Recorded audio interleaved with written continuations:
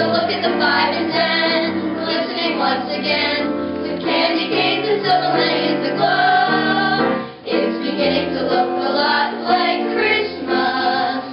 Toys in every store, but the prettiest sight to see is the holly that will be on your